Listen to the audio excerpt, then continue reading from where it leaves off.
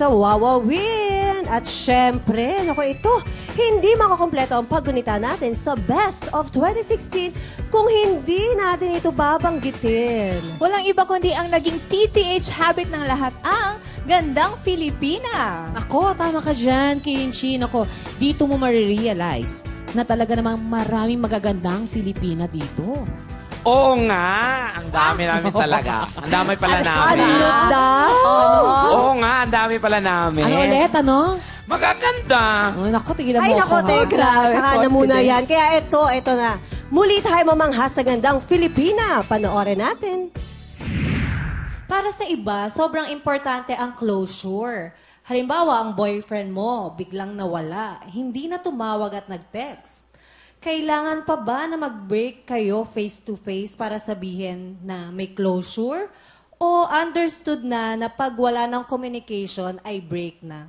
Naniniwala ako na kapag mahal mo ang isang tao, lahat gagawin mo, syempre. At kung mangyari man ang ganong sa sitwasyon na sinabi ni Ariela, syempre hindi sa akin okay yon Kasi nagmamahal ako eh. Tapos walang komunikasyon, walang kahit ano. Nag-boyfriend pa ako, di ba? Eh, ang boyfriend, di ba, para magkaroon ka ng inspirasyon, ganyan. At naniniwala din ako na kaya nangyari yon uh, may nagawa siyang hindi maganda. At naniniwala din ako na a mistake repeated more than one is already a choice. At hindi rin ako naniniwala na uh, kailangan ng closure. Kung magulo na, tama na. Thank you.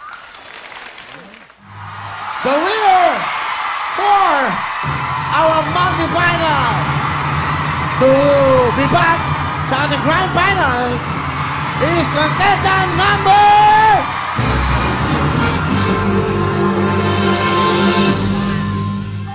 one! Yes, Rosette, ito yung tanong mo. Sabi nila, hindi raw officially kayo hanggang hindi na post sa social media.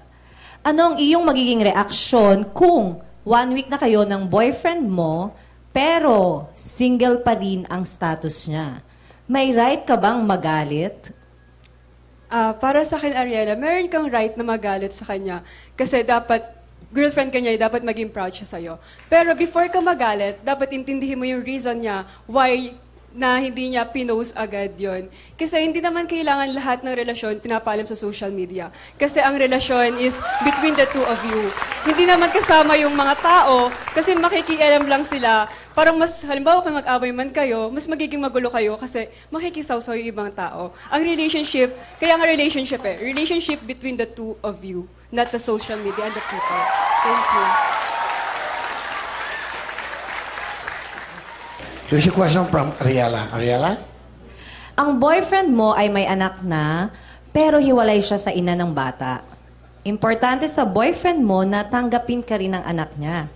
Kaya lang, ang dahilan pala kaya hindi mo makuha-kuha ang loob ng bata ay dahil sinisira ang kanung nanay.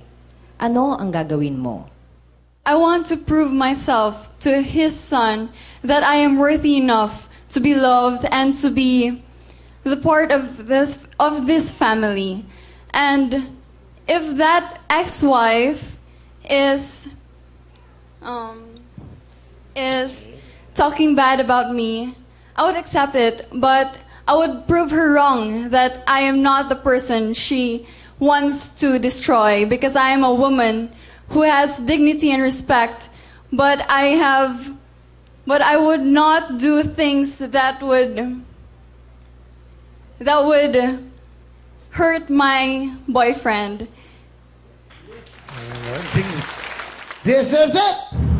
Our winner for our second multi-finals dito po sa Ganda Pilipina.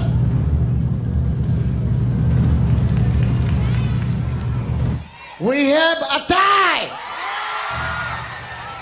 First, contestant number...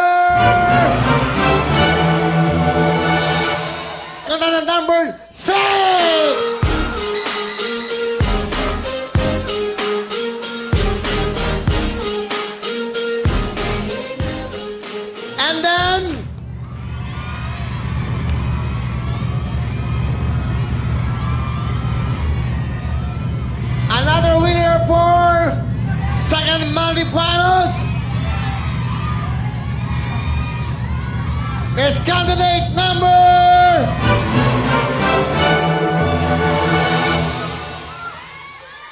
Twelve!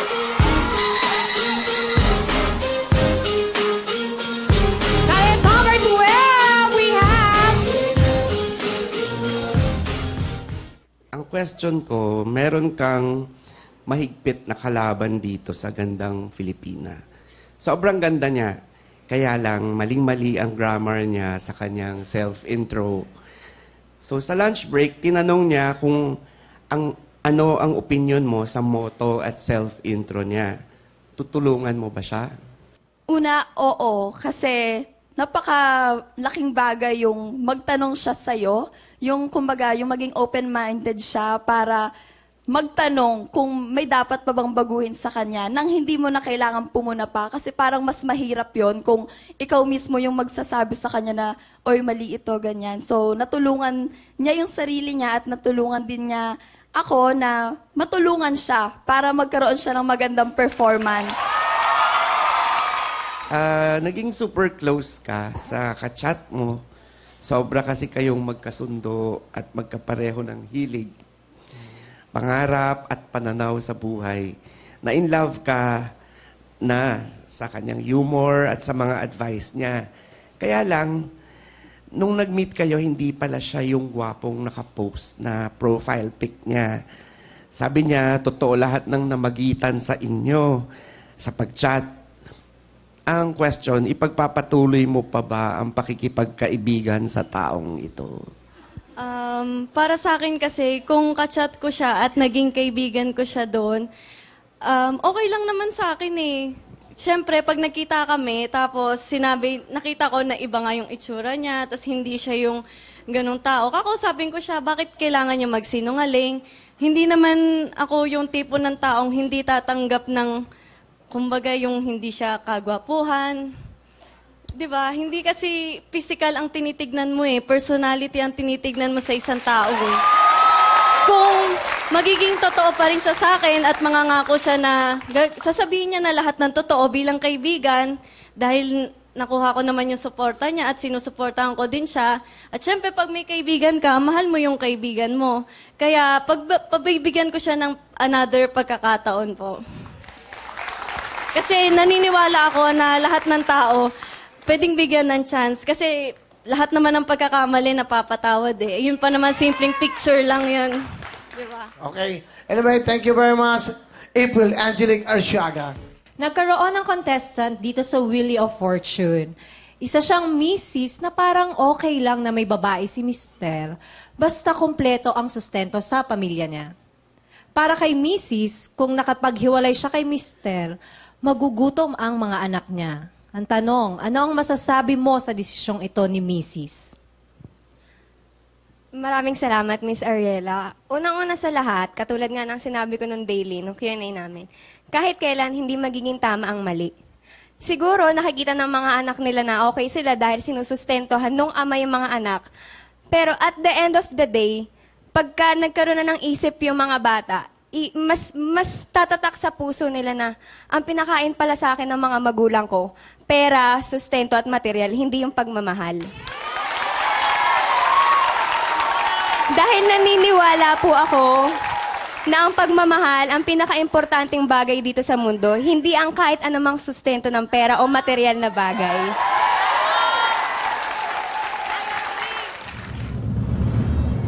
Here we go.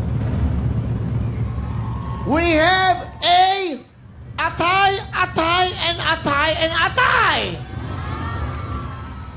Tatawagin ko yung mga nagtay. Okay, first, candidate number...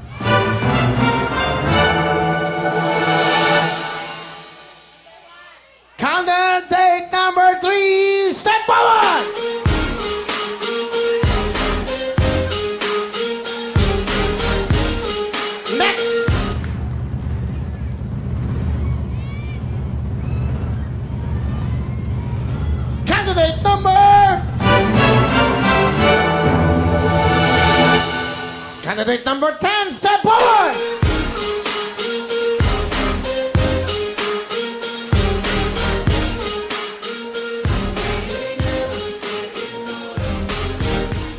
Pasok! Next! Two more to go, two more to go. Apat po ang nag-tie.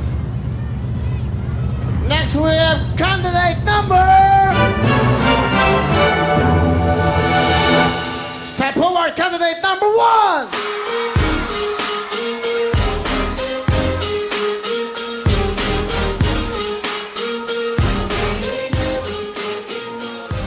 And here we go, the last one to join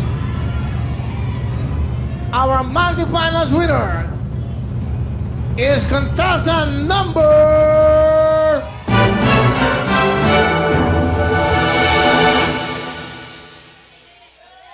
Dream may come true. Contestant number six.